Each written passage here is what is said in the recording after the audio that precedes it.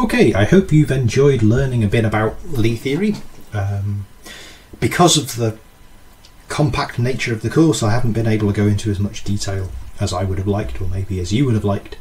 Uh, so, what I'm going to do now is give you some references where you can go and read in absolute gory detail about some of the things you may have missed out on. So, first book is this one. It's one of my favourite books. Uh, Fulton and Harris Representation Theory.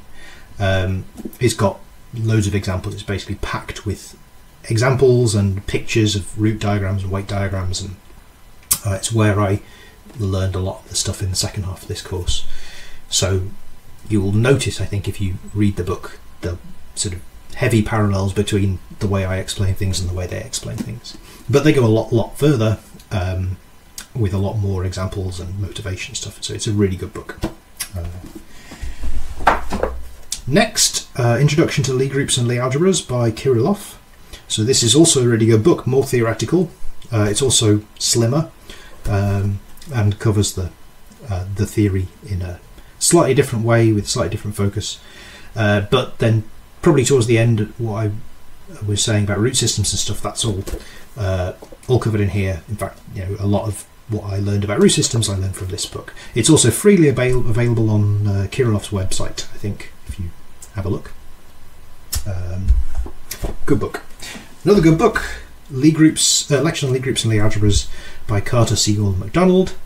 This is three sets of lecture notes from courses that were given in uh, 1993 in Lancaster.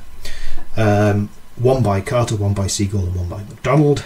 Uh, Carter's lectures are about Lie algebras, and the first time I read this book, I didn't know anything about Lie theory.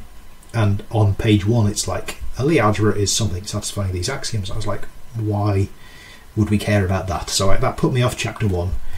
Um, but coming back to it, knowing a bit about Lie algebras, I like it. It has a very quick, it gets very quickly to the classification theorem, and, and does that in quite nice, uh, quite a nice way. Chapter two, Segal's chapter, is really nice. Uh, it's more about uh, the representation theory of Lie groups, uh, compact groups, from an analytical point of view. So character theory that we didn't really touch on at all in this course. Um, and then chapter three is about algebraic groups, which is a slightly different direction. But again, not a huge book, uh, and you can get a lot out of it very quickly. Next, Lectures on Lie Groups by J. Frank Adams. So this guy was a, a very eminent topologist, um, and he has a kind of idiosyncratic approach in this uh, in these lectures. So he doesn't talk about the algebras. He focuses more on the maximal tori, and um, yeah, he develops all the theory in a again a completely different way, really, from what we've done. Um, but it's a really good book. Uh, a lot of the arguments I gave were actually inspired by things in this book um, in the first half of the course. So there's a lot more about maximal tori, in particular the proof the uh, proof that any two maximal tori are conjugate is explained really nicely in this book.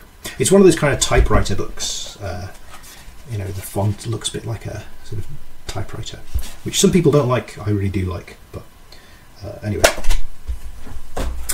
Next, uh, this one I only got it recently, but it takes a similar approach to the approach I did. It focuses on matrix groups.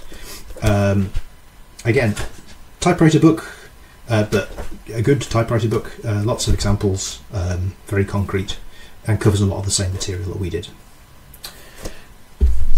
Next, a completely different kind of book. Warner Foundations to Differentiable Manifolds and Lie Groups. This doesn't deal with matrices. This deals with manifolds from the ground up. So if you don't know anything about manifolds, this is maybe a, a good place to start. Um, it does a lot more than just Lie groups. You know, it, it talks about Lie groups, but at the end it talks about Hodge theory and de Rham cohomology and all sorts of other things. And the section on Lie groups is, is really good. It, it, if you if you felt what I did was too uh, sketchy and coordinatey, this is very uh, this would be up your street. It's kind of a lot of manifolds, a lot of um, invariant expressions, like very little coordinate stuff. Um, yeah, it's really good, and it proves the kind of main theorems that I missed out, um, or many of them. So it's a good book. This one, uh, NAP, KNAP, I don't know, NAP, Lie Groups Beyond an Introduction. Um, this is a massive book, um, and it does a lot. It strangely, I feel like it doesn't necessarily do everything, um, but it does a lot. Uh, so if you're looking for uh, gaps, uh, looking to fill the gaps that I've left, uh, this is maybe a good place to start. Um, in particular, it does have a, a proof of the Baker Campbell House Baker Campbell Hausdorff formula in here, but it's kind of a big mess. Uh, there's a much quicker way of doing it. Um, there's another paper by Eichler that does it much more quickly than this. But maybe this gives you a better idea of why that theorem's true. The last book I'm going to talk about is not a book about Lie theory. It's uh, kind of an odd shaped book by, can read, maybe that's uh, that way around, Coxeter, Regular Complex Polytopes. So if you like the bit about root systems and root diagrams at the end, uh, this is full of that kind of stuff. I mean, it's not necessarily about Lie theory, but it's got pictures like this. Isn't that awesome? So that is, I don't know, that's just a random one. That's some some kind of root system, or well, not root system, but it's some polyhedron projected down to two dimensions from I don't know what dimension, maybe four. Um, yeah, so it's all about the geometry of polyhedra, and uh, so in particular the kind of Coxeter-Dynkin diagrams we were talking about get introduced really nicely in this book. He also has the instructions for making an icosahedral kaleidoscope. So if you want to know how to make the icosahedral version of the kaleidoscope I used in the um, the video on classification uh, of root diagrams, then you know have a look at this book. Okay, so happy reading.